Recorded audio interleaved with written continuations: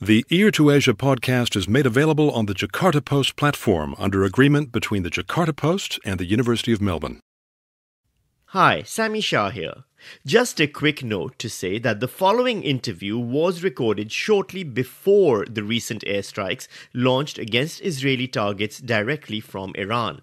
Nevertheless, I believe you'll find the contents remain entirely pertinent to understanding current Iranian security and defense strategies. That said, on with the show. Hello, I'm Sami Shah. This is Ear to Asia.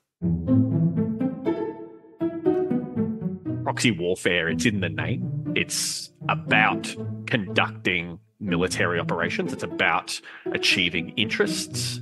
And sometimes those interests change very drastically, particularly when it comes to the proxy themselves. They can shift, they can do a complete 180 and then bite the hand that feeds them the Iranian public sees Iranian investment in Hezbollah, in Hamas, as counterproductive and detrimental to Iranian national interests, especially when Iran is under sanctions and needs the money for its own economy. So there is a clear gap between the public and the Iranian leadership that pursues these proxy relationships. In this episode, Iran's strategy of outsourcing warfare in the Middle East. Ear to Asia is the podcast from Asia Institute, the Asia research specialists at the University of Melbourne.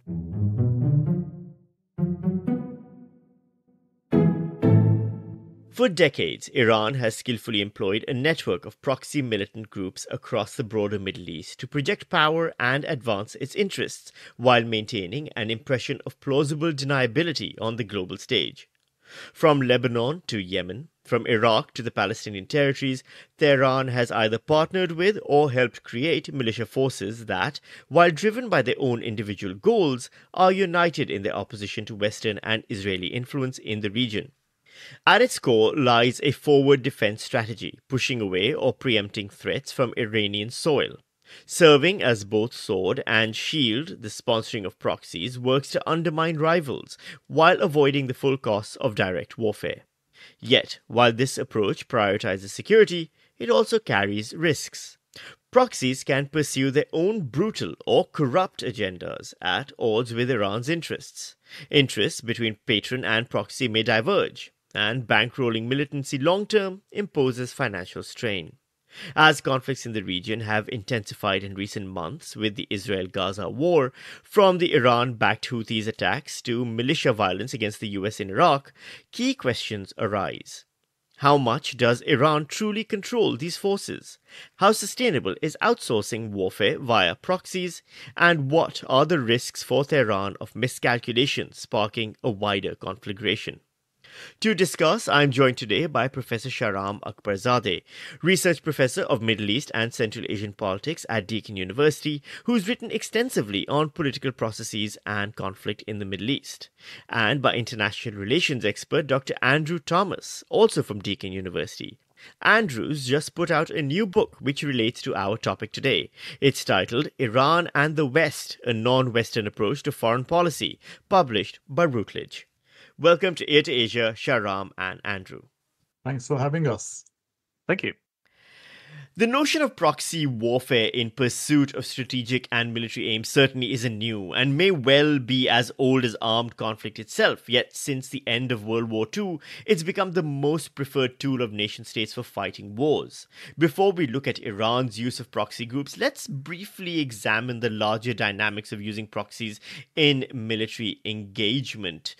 Shahram, while it may seem obvious to some, let's ask this question anyway. Why do nation states, which themselves may have substantial military resources, choose proxy strategies over direct engagement? Well, thanks for the question and thanks for having me, Sami. Um, as you mentioned, it's a very old practice and it makes sense if you don't want to be involved in direct conflict, direct confrontation, you pay off allies, pay off proxies to engage in warfare and um, deter threats and deter attacks on your territory without being directly embroiled in conflict. So even empires, for example, paid off various tribes that were in the periphery of the empire to fight off enemies. and you know to deter attack. So it's a very old strategy. And in many ways, it's economic. It's very cost effective because you don't have to maintain a fully fledged army and engage, bring, utilize your own army all the time for any attack, any threat that may materialize. You can have your uh, proxies beyond your borders dealing with a threat. So it makes sense. It's become a lot more common in, as you mentioned, in the um, modern times, because it also adds a level of deniability. States can sponsor proxies to do things that they wouldn't want to do themselves. So, deniability, they can keep themselves at arm's length and um, not get their hands dirty, so to speak. Andrew, is a shared ideology, a shared identity, any aspect of this kind of proxy strategy? Um, yes. Sometimes it can be overstated, but I think in a lot of cases it is about sort of exporting ideology in a broader context, particularly in insecure contexts, and not always for ideological outcomes, but for for potential security outcomes as well. You mentioned that these states often have substantial military resources, which is true. However, in international politics, uh, substantial is kind of relative, and particularly in in modern times, states often have asymmetric levels of power. For example, in the Vietnam War, the Viet Cong fought a very specific way against the United States. They couldn't fight them head on. So they fought them with guerrilla warfare. Proxy warfare kind of has the same purpose as you might have substantial military resources to an extent, but the actual calculations on the battlefield mean that you would lose in all that warfare. Proxy warfare, coupled with what Shahram said about plausible deniability, about creating this illusion of, of peacetime, it is actually a, quite an effective way at fighting much more powerful armies as well. So there's the ideological element, but it is also primarily strategic, as you said in the opening quite well, that it's forward defense. It's more about the international game of chess rather than about ideology. Shahram, you've mentioned some advantages like projecting power and influence without an all out war being involved, an illusion of a country at peace can be maintained, and of course, plausible deniability being the biggest one. Those are the upsides of a proxy strategy. What are the potential downsides and risks of choosing proxy strategies then? Well, there are quite a few, uh, Sami. All you have to do is to look at what Pakistan has done with the Taliban. Pakistani military force has helped create the Taliban in its early days, bolstered Taliban. Of course, from Pakistani point of view, Taliban were going to serve the national interest of Pakistan. Taliban was going to go into Afghanistan, push over the various Mujahideen groups, maintain some level of control and tranquility over Afghanistan, and then be an ally of Pakistan. So give Pakistani armed forces strategic depth, so to speak. So that was the language and thinking behind Pakistan's choice of supporting Taliban. Of course, the Taliban have not come back to bite the hand that fed them. The Taliban has become a headache for Pakistan. So you can't always control your proxies. You develop a proxy relationship, but proxies are not always taking orders from you. Mostly they do, but they have they can be their own person and they can decide for themselves what serves their interests. And they can break away from you and not that taliban in this case is in power. They are really having a go at uh, pakistan. So it become a headache for pakistan security. Proxies don't always follow the line that's set by the patron they can do things that embroil and drag the patron into direct confrontation. Well, then, before we get to Iran, one final question, I suppose, is what is the difference between a proxy and an ally? How is one thing a relationship that is so symbiotic and another is so common in the world, and yet we don't link them as the same thing? Why is proxy and ally such a differentiated category? Andrew? My view is that a proxy is a tool, an ally is much more of a relationship. So a proxy the patron state would see them much more like a, a gun than someone that they're actually have a relationship with. So a, a tool that's effective for achieving a goal. Now, there's a scale of that relationship. Um, and again, um, the relationship between Iran and Hezbollah, for example, is very different between the relationship between Iran and Hamas. They're quite different and they have different levels of control over them and different sort of connections to their policies. But the fact of the matter remains that proxy warfare, it's in the name. It's about conducting military operations, it's about achieving interests the shared element of interest is almost unimportant in a lot of cases. And as Shahram talked about with the Taliban, sometimes those interests change very drastically, particularly when it comes to the proxy themselves. They can shift, they can do a complete 180 and then bite the hand that feeds them directly. And that creates a lot of risk. But there's there's a calculation there about how much risk, how risk averse the patron state is to what can happen.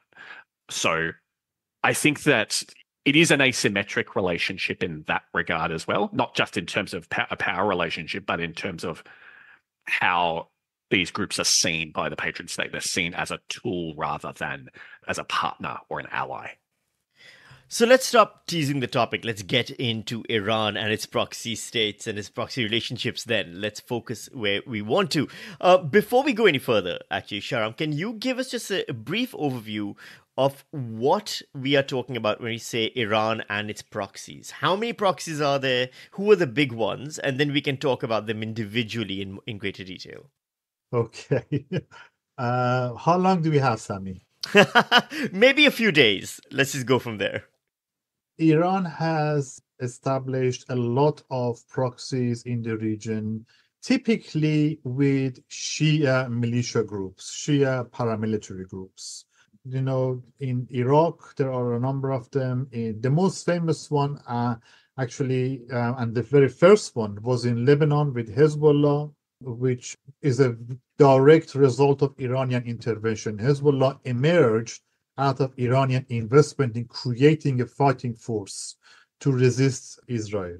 And the term axis of resistance really refers back to the history of emergence of Hezbollah to push back against Israeli occupation. And then you have Houthis in Yemen, a number of small groups that were recruited by Iranian authorities from Shia Pakistanis and Shia Afghans who were then sent to Syria to engage in the civil war conflict in Syria. There's a long list. The point I want to highlight here is that they're all Shia and this has been a problem for Iran because Iran presents itself as the champion of Muslim interests, not Shia interests.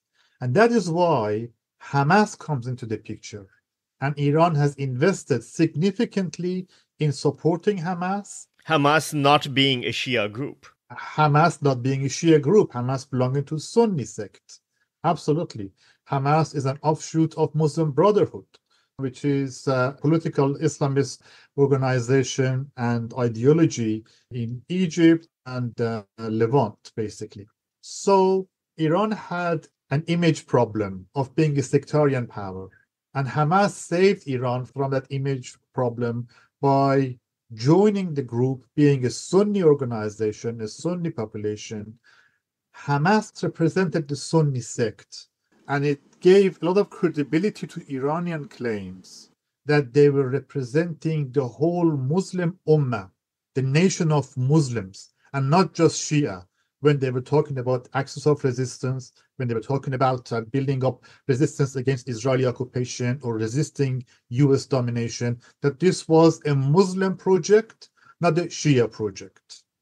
Yeah, I 100% agree with that, especially in the idea that that Iran has had this real problem, particularly within Iraq, about sort of being viewed as this very, very cynical chess player inside Iraq. So the, the Badr organization, for example, effectively being set up by Iranian intelligence officers in the IRGC, the influence of Muqtada al-Sadr initially, um, Iraqis for a long time, and obviously still today, given a lot of the unrest over the last two years, see Iran as kind of this pretty cynical Shia force.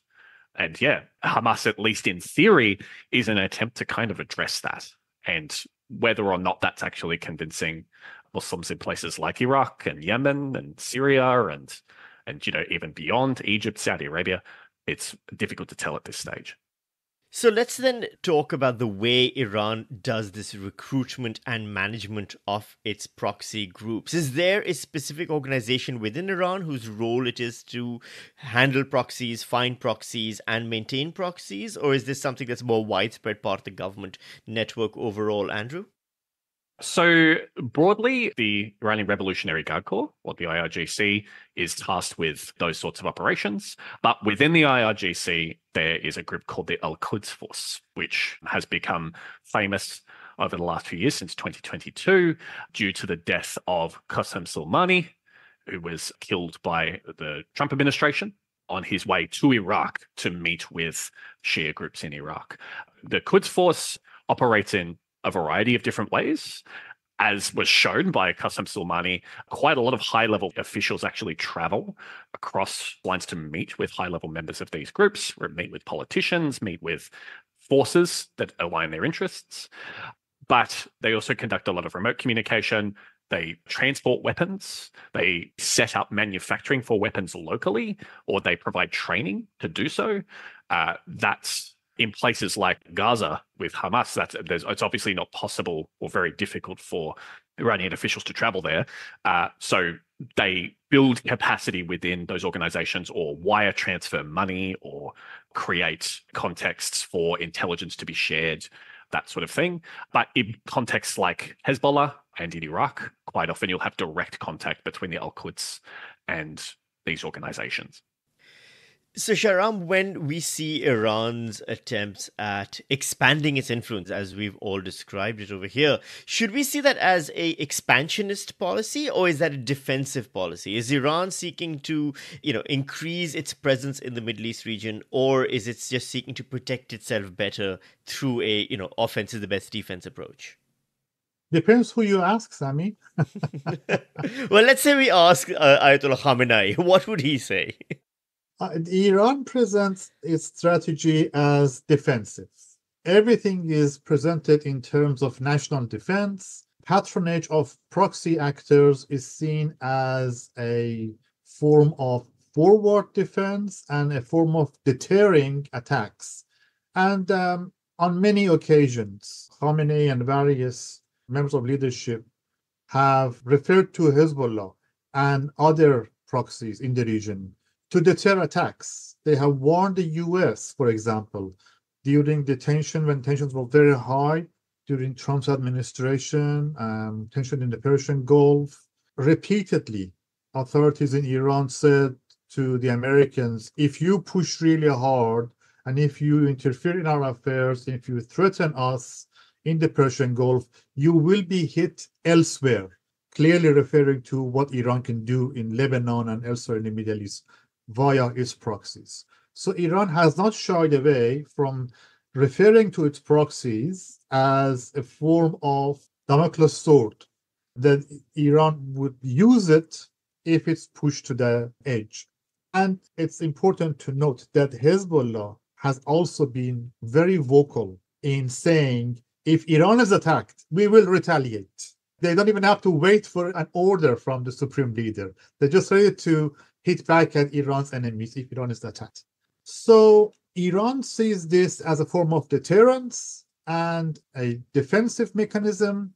But you have a classic case of a security dilemma here where Iran sees its actions as defensive, but everyone else around it sees it as really threatening and aggressive and power projection.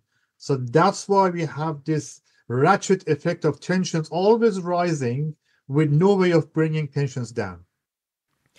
We often talk about Iran's history changing in the 1979 Islamic Revolution and the modern Iran that we know very much being a result of that one period. Is the current cultivation of militant proxies an example of Iran attempting to export the 1979 Islamic Revolution to see more of that spreading in the region? I think that's part of it. Ideally, Iran would love to see Iraq have a Shia revolution. Uh, it'd love to see Yemen have a Shia revolution. It supports the Shia minority in Syria, the, uh, the Alawites. It would love to see a Shia revolution in the Muslim world for sure. Its immediate goals are not that, but since the Islamic Revolution, there's obviously been a significant shift in the position that Iran sees itself in the world. During the Shah, it was very much a international society affirming state, which is a nice way of saying very friendly with the United States, very friendly with Europe, effectively. That has obviously changed. It's considered a revisionist state. It's considered a state that rejects the global order. And as a result, it rejects a lot of the principles of sort of international order in the region that don't uphold its own interest. And as a result, I think there's a bit more desperation in terms of its defense policy, which is why it's employing a forward defense policy. It's effectively encircled. It sees itself as being encircled by enemies, kind of similar to Russia's position in global politics, and tries to project more power than it has as a result. Now, Shahram's touched on how that can actually cause some problems in terms of the security dilemma, which is this idea that one state, in an effort to secure itself, makes the states around it more, and particularly its adversaries, more insecure. As a specific example, what's happening with the Houthis at the moment, where they're capturing shipping vessels, where they're, you know, they recently have actually killed crew of ships. That's now hitting the Western world where it hurts.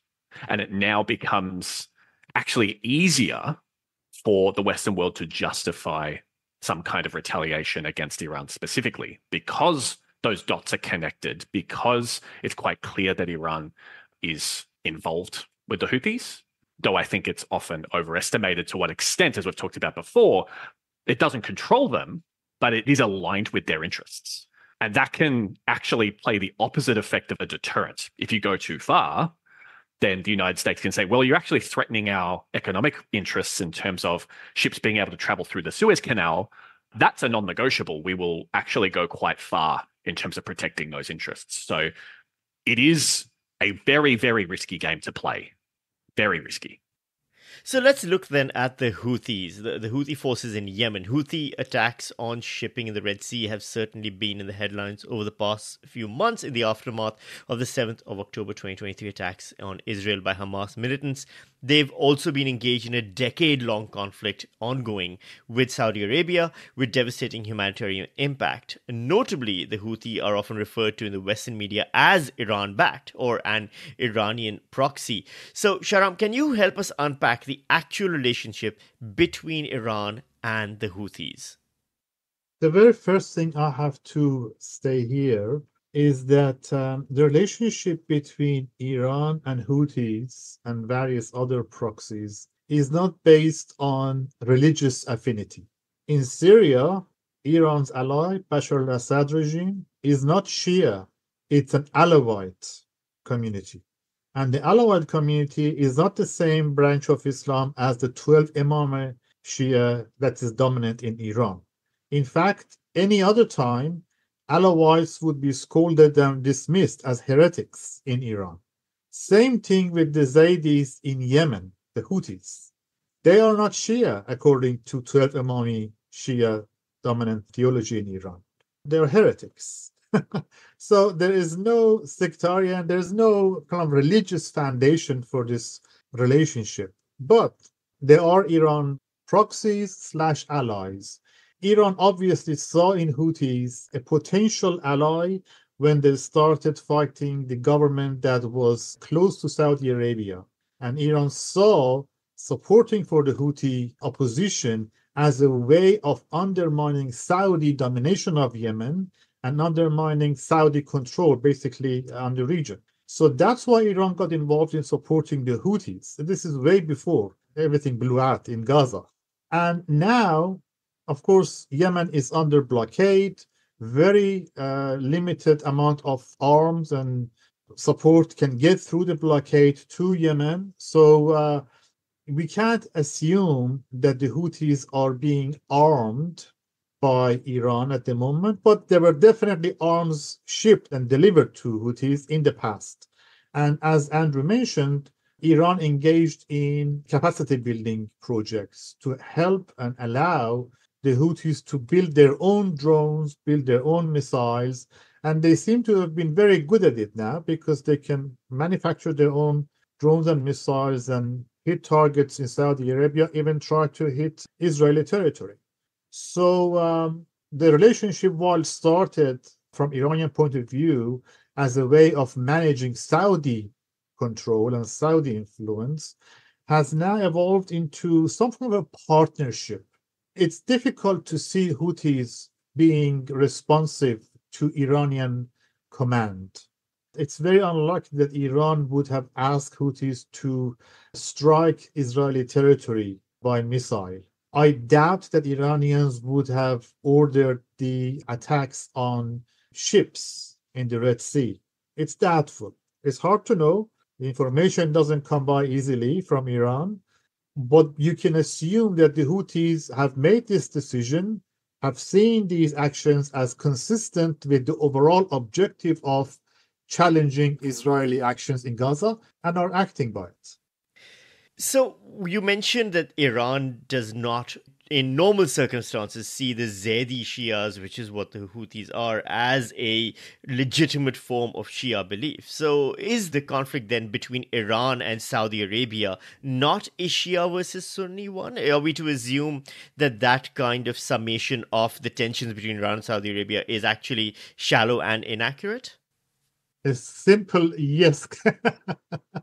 a simple yes. I mean, uh, that is not a religious or a sectarian conflict. I'm going to let Andrew respond to that question because I see him poised to say something, but that's my contribution. well, I was about to say an emphatic yes, too. I talk a little bit about this in my book, but Iran kind of likes to focus on sect when it helps them. But in this case, sort of religiously, they actually have a lot less in common with the Zaydis than they do with with other branches of Shia.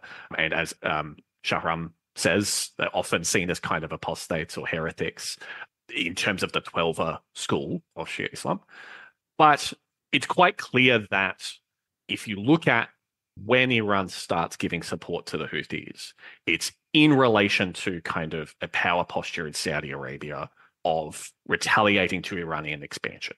So again, getting back to that kind of security dilemma conversation, it's quite clear that Iran is trying through Yemen to balance out Saudi power in the region, but also given the fact that it's quite a staunch US ally, trying to undermine US interests in the region as well at the same time. So it's constantly looking at these different levels. Often it will it will say, oh, it's like, oh, um, sure, there's Zaidi Shia, but they're still Shia to kind of justify it. But as Shahram says, it's kind of meaningless given how different their belief systems actually are. That's more kind of a rhetorical justification, maybe even for a domestic audience. But again, it depends on who you ask with all this stuff. Some people really emphasize that kind of Shia crescent fear that that Saudi Arabia has, and that maybe Saudi Arabia perceives a much closer connection between Iran and these rebel groups that are Shia.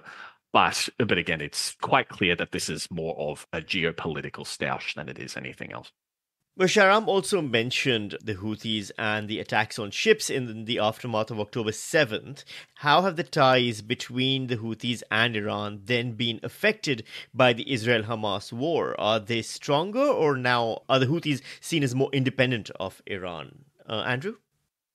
Well, I would say that the Gaza conflict has done wonders for the Houthi rebels in terms of their legitimacy. In some papers, I've actually read or seen them described as the government in Yemen. It's actually much more disputed than that. There's actually two centers of power that claim to control Yemen, but they're often referred to as a Yemen fighting force, which for a subnational group, for a rebel force, that's the holy grail. That's something that they can only dream of in a lot of cases. Also, a significant amount of support sub state, obviously, in the West for their actions as kind of this quote unquote activist group. Put that in, in inverted commas, given that, you know, they've obviously got their own interests, got their own political horses in this race. But in a context where the Western world is not doing much to address the atrocities in Gaza, it's giving the Houthi rebels quite a lot of legitimacy. And in a lot of cases, some analysts don't even care that they're strongly linked to Iran or have these strong links to Iran.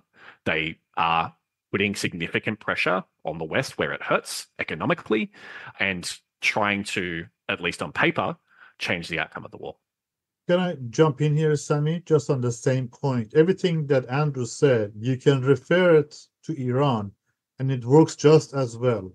For years, Iran has been saying that we are the only people who are standing up to Israel, the only one who is standing up to US arrogance. We're supporting the axis of resistance, various proxy actors, and we speak for Muslim interests, Shia and Sunni Muslim interests, the interests of the Ummah. So this has been the message. They were very critical of countries like UAE and Bahrain, who signed the Abraham Accord with Israel, and they saw it as betraying the Palestinians, betraying the Muslim cause. And they were very critical of Saudi Arabia when it sent signals that it might also join the Abraham Accord and normalize relations with Israel. So this has been Iran's position. And all of a sudden, everything Iran said has come true. You know, Israel is bombarding Gaza, has no respect for international law. 32,000 people dead, most of them civilians, about 15,000 children dead. Um, the UN has been ineffective because the US continues to veto all Security Council resolutions, except the last one, which remains to be seen if it has teeth. So the whole international system, as Iran argued for decades, the whole international system is rigged to serve US interests, and Israel is benefiting from that. And Iran, uh, from you know by their account, was the only country standing up for Muslim interests.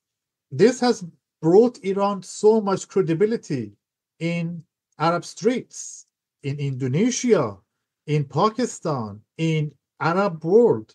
The ordinary person in the street thinks very highly of Iran because Iran has stood up to power.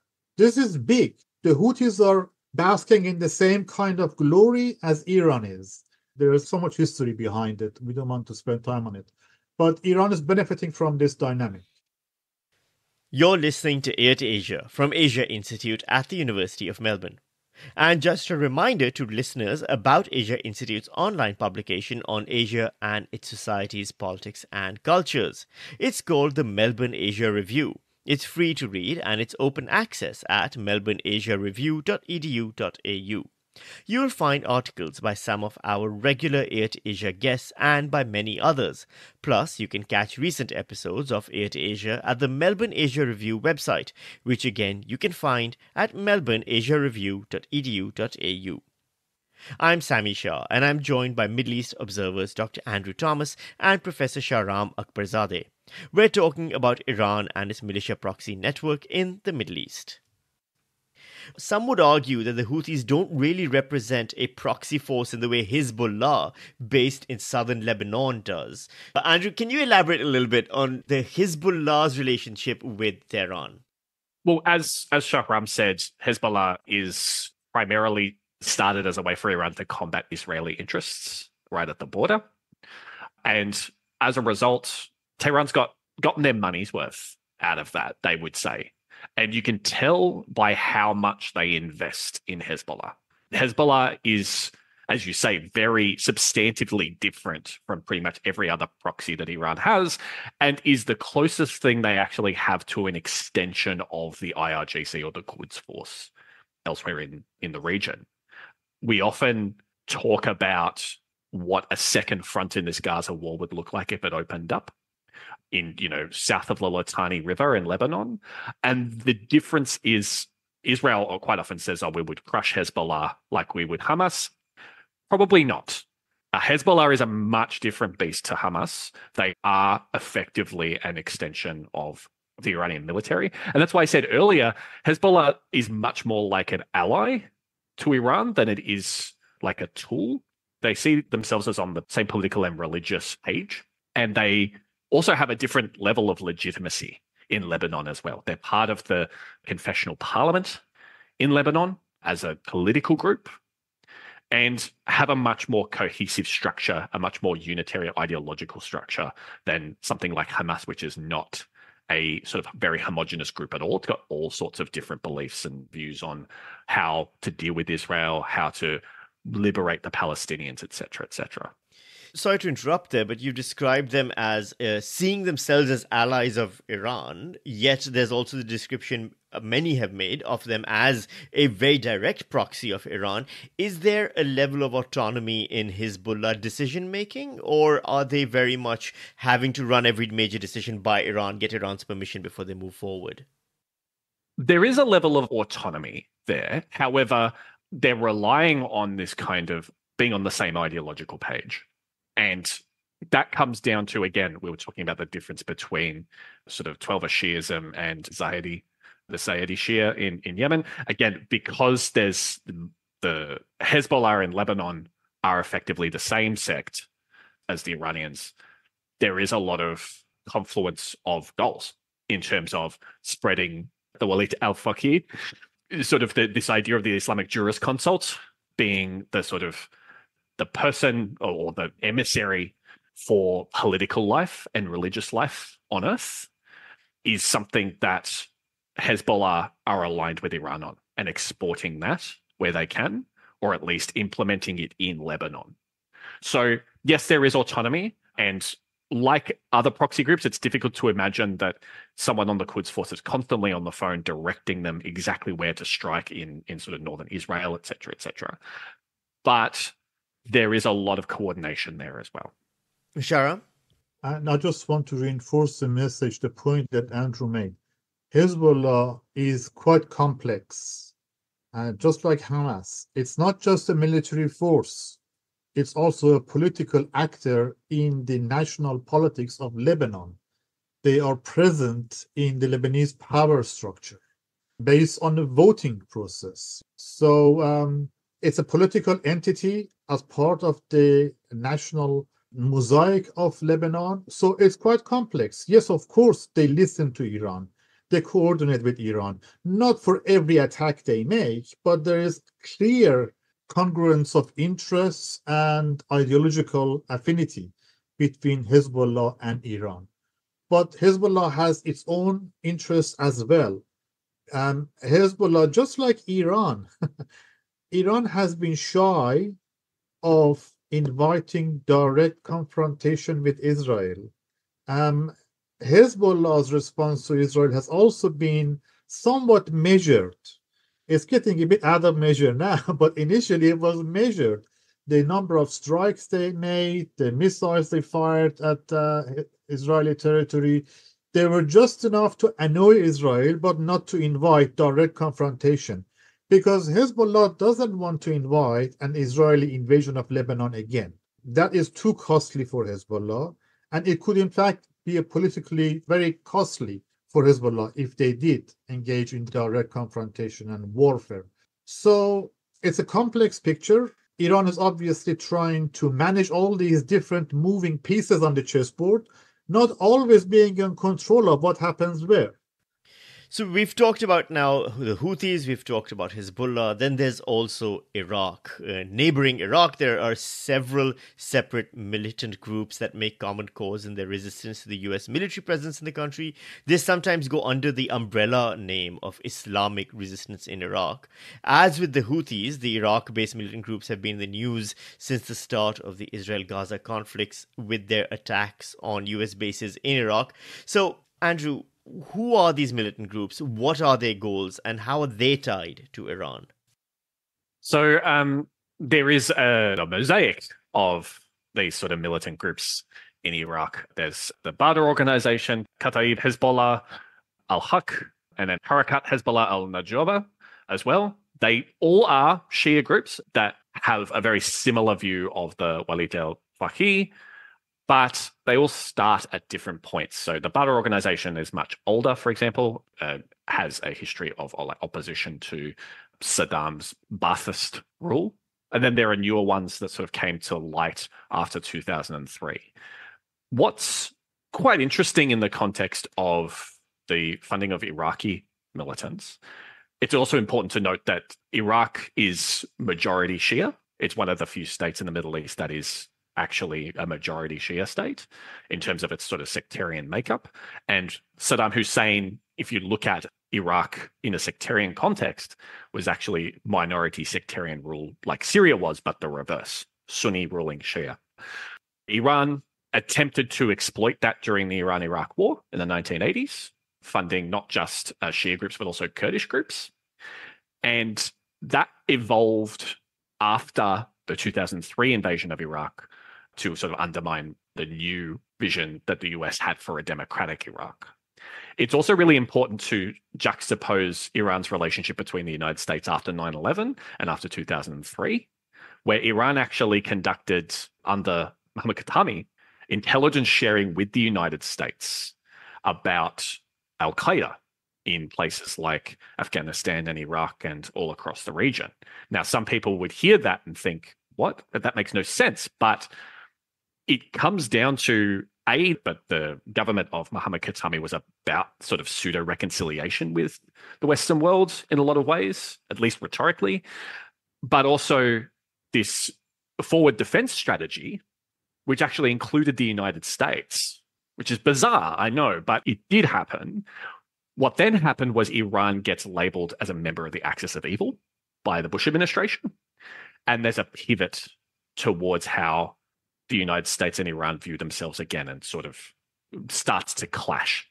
You then get the election of Mahmoud Ahmadinejad and a solidifying of this relationship as enemies once again. So these groups, there's two roles. One is to disrupt US interests in Iraq, and two is to sort of foster a Shia political presence in Iraq, one that specifically is allied to Iranian interests. Shahram, how does Iran manage these relationships? There are so many organizations, groups spread across so many parts of the Middle East. Is it financial? Is it entirely based around weapons exchanges? What exactly are the practical tools used to maintain, manage, massage, and even develop some of these ongoing relationships that currently exist? So, um, the simple answer is we don't know because these things are not publicized they're all state secrets, but reports that we have seen suggest that in places like Iraq, where Iran has a lot of influence, there is, of course, funding, so fund transfer, as well as training and um, supply of weaponry. Those are obviously true in uh, places like Iraq and in Syria as well, of course with Hezbollah, same. And you have to see the land passage through Iraq, Syria, and Lebanon that really serves Iranian interest and Iranian support for its various proxy actors. In other places like uh, the Houthis in Yemen, it's difficult to know how much technology is being transferred now because of the blockade.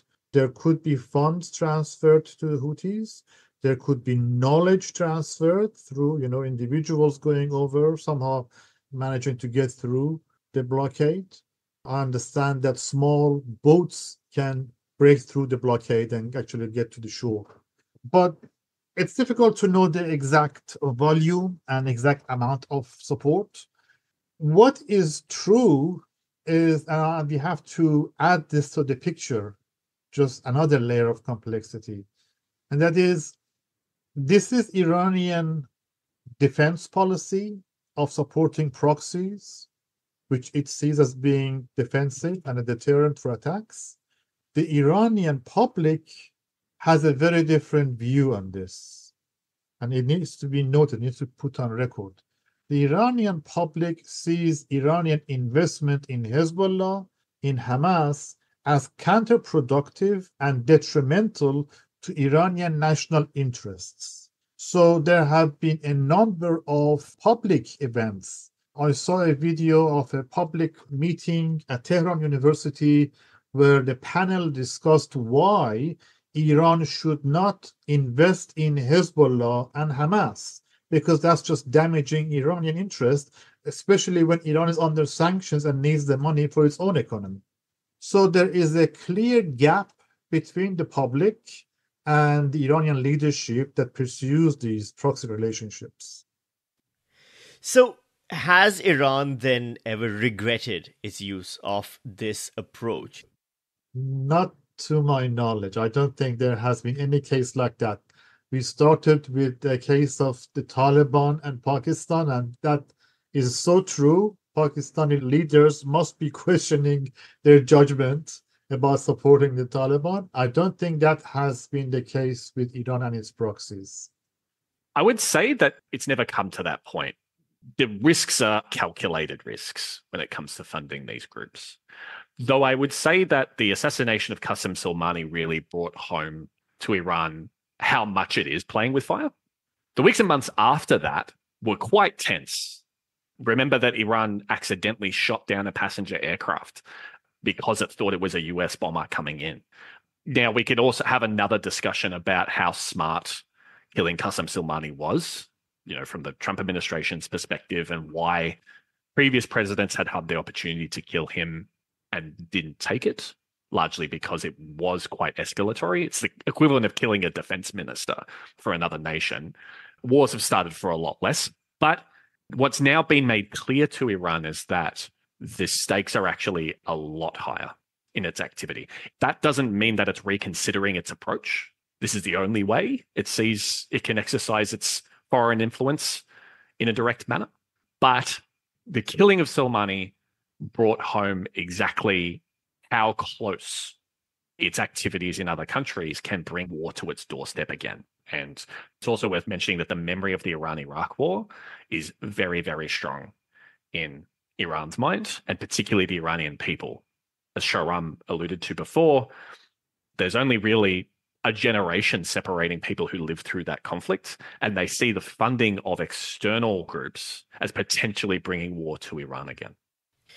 So let's then do one final look at the entire region. We've got various armed conflicts underway in the Middle East in 2024. Yet, would it be fair to say that each and every one involves a proxy military force guided by a state actor that itself has not declared war? Is that a safe assumption, Shahram? Let me just start by saying that from Iranian point of view, their investment in proxies have served their interests well. And this goes back to the point that Andrew was making. When Iran called for a mobilization of Shia forces and the creation of a united force to push back against ISIS.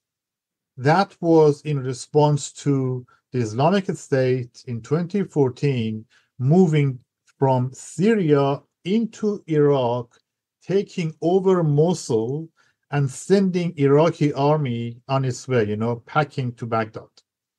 Mosul fell because the Iraqi army was unable to withstand the ISIS attack. Iran responded by saying, let's mobilize a popular force of all Shia groups, come together and push ISIS out.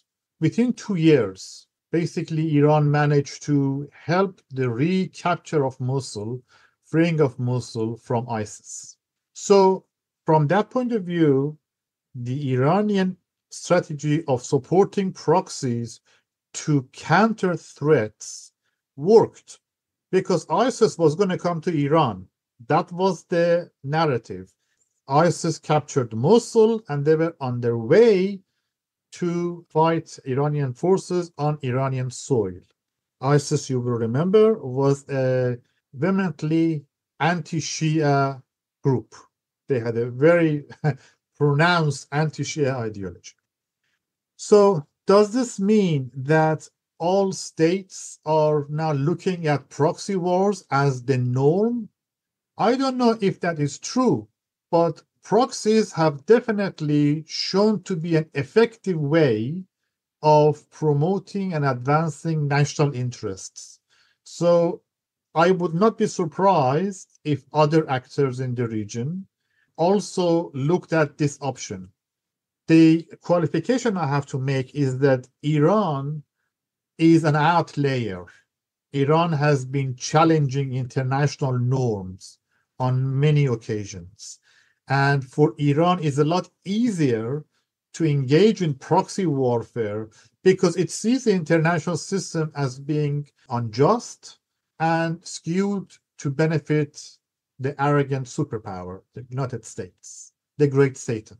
So it's not going to be that easy for Saudi Arabia and other countries that have that are more, if you like, normal states that have more of affinity and more of a declared commitment to international rules to then engage in proxy war.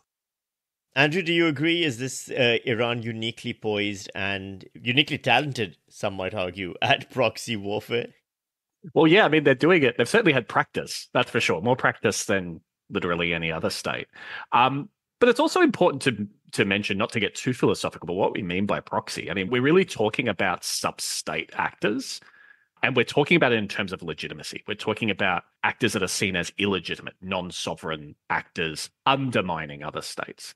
But it's quite clear that states can be proxies too, and that states have proxy interests that have the same risks associated with them. I mean, look at what's happening between the US and Israel right now.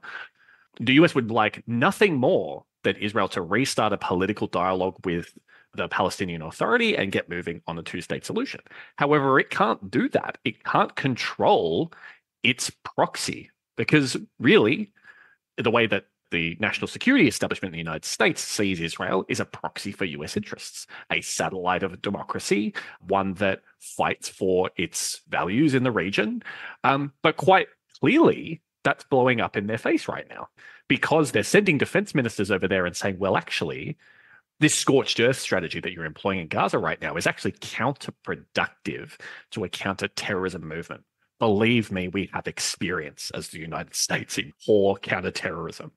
We've tread this road before you. This isn't going to work. Proxy interests are everywhere. It's just this is a very kind of specialized, shall we say, you could use that word revisionist again, but based on exactly what Shahram said, which is that Iran works outside the international norms of the region because it sees them as illegitimate. And it says, well, the United States doesn't play by the rules when it doesn't suit them. Well, it doesn't suit us. So we're going to cause a ruckus by funding these groups and by undermining the interests of other other nations. And also prove it was us. You can't. That's it's win-win. We focus so much on the Middle East. Does Iran's proxy network extend beyond the Middle East? You mentioned places like Pakistan and Afghanistan have come up in our conversation, but not with regards to Iran's proxy situation. Are there more regions in the world where Iran has influence that we don't talk about enough? Shahram?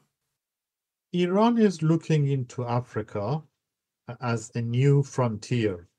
To what extent that qualifies as proxy relations, I am not sure that remains to be an open question for us to perhaps to come back to in the next episode. Any further spoilers you want to give us for part two, Andrew? Yeah, I think that you can see Iran's sort of diplomatic tendrils reaching beyond the region for sure. I mean, you can just see that it's clearly doubling down on its relationship with Russia, and particularly when it comes to arms sales and the sale of drones. But to sort of say that that's going to translate into any kind of proxy activity is sort of putting the cart before the horse a bit. International politics is really quite opaque at the best of times, but this is we're really talking about like clandestine operations here. Who knows? They could be they could be fostering proxy groups in Latin America. I mean, I doubt it, but it's entirely possible that Iran is looking far beyond the region to foster its relationships. But we'll have to see. We'll see in part two, as Shahram has mentioned. I hope you will both come back for that. Our guests have been Professor Shahram Akbarzadeh, Research Professor of Middle East and Central Asian Politics at Deakin University, and International Relations expert Dr. Andrew Thomas, also from Deakin University. Thank you both. Thank you, Sami. Thanks so much, Sami. I really enjoyed the conversation. Ear to Asia is brought to you by Asia Institute of the University of Melbourne, Australia. You can find information about this and all our other episodes at the Asia Institute website. Be sure to keep up with every episode of Ear to Asia by following us on the Apple Podcasts app, Spotify, YouTube, or wherever you get your podcasts. If you like the show, please rate and review it. Every positive review helps new listeners find the show. And please help us by spreading the word on your socials. This episode was recorded on the 3rd of April 2024. Producers were Eric Van Bemmel and Kelvin Param of Profactual.com. Ear to Asia is licensed under Creative Commons, copyright 2024, the University of Melbourne. I'm Sami Shah. Thanks for your company.